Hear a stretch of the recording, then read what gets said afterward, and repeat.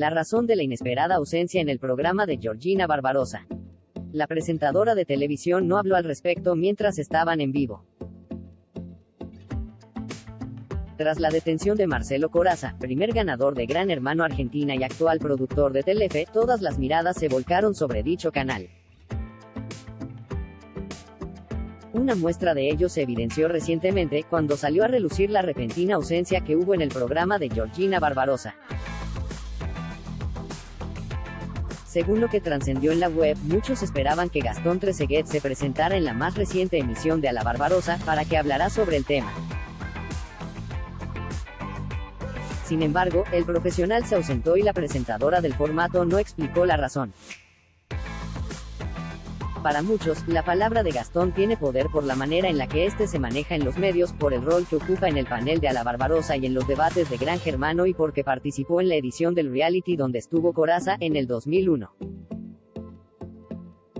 Ante todo lo ya mencionado, se puede deducir que el equipo de Georgina Barbarosa lo habría querido en el piso para tratar a profundidad lo sucedido con Marcelo, pero ese no fue el caso. Después de evidenciarse la ausencia en vivo, desde Primicias ya contactaron al panelista de Georgina Barbarosa y este reveló el motivo por el cual no fue al programa que Telefe transmite todas las mañanas.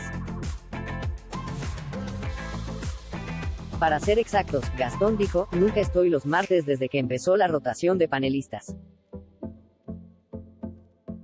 En ese contexto, el profesional concluyó tiene que ver con que somos muchos y nada tiene que ver gran hermano con la rotación. Luego de que lo contactaran para que hablara al respecto, el colega de Georgina Barbarosa armó una ronda de preguntas rápidas en Instagram y allí opinó sobre el tema que está en la boca de muchos. El hecho se dio cuando un internauta le preguntó a Gastón Treseguet lo siguiente, ¿qué pensás de lo de Coraza? Y, lejos de evadir el tema de conversación, él respondió, aberrante, asqueado, con tales palabras, Treseguet se refirió a las acciones por las que se lo acusa a Marcelo. Por otra parte, Telefe ya emitió un comunicado en el que informan la suspensión de Coraza. De acuerdo con lo informado en el canal donde trabaja la presentadora de A la Barbarosa, suspendieron a Coraza de sus labores hasta que la justicia determine los hechos y dicte una sentencia.